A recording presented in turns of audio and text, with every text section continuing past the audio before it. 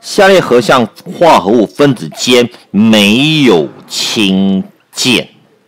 首先，我们看一下什么叫氢键。氢键也就是氟氧氮上氢，可与另外一个分子氟氧氮产生氢键。所以，我们将 A、B、C、D、E 的结构式找出来，看看氢有没有接在氟氧氮即可。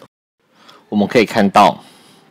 对 A 选项而言，乙胺氢有接在氮上，因此有氢键；B 选项乙醇氢有接在氧上，有氢键。